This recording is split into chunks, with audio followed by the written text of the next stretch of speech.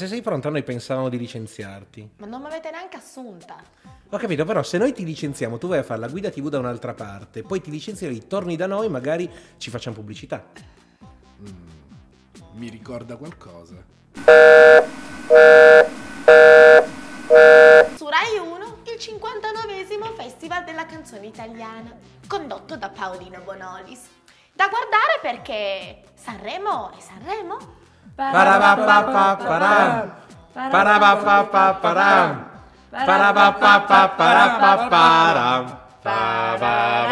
Guardate che ha anche cambiato sigla eh, nel frattempo. Niente dopo festival, però tutti i giorni alle 13 c'è il Sanremo Question Time. Come in Parlamento. Su Rai 2 senza traccia. E anche senza la speranza di fare ascolti. Su Rai 3 Floris conduce Ballarò. Come se niente fosse. Perché anche se i giornali parlano solo di stupri e di Sanremo, ci sono anche le elezioni in Sardegna. Su Canale 5 RIS, delitti imperfetti, che si immola contro la colossale messa in scena di Paolo Bonolis. Forse c'è qualche speranza che la gente smetta di guardarlo. Ma a proposito di gente che smette, abbiamo notizie di Mentana. No, guarda, da quando ha scoperto Sky non ha più smesso di fare zapping. Su Italia 1 c'è Il Signore degli Anelli. Per una controprogrammazione in grande ci vuole un grande pennello. Non era un pennello grande.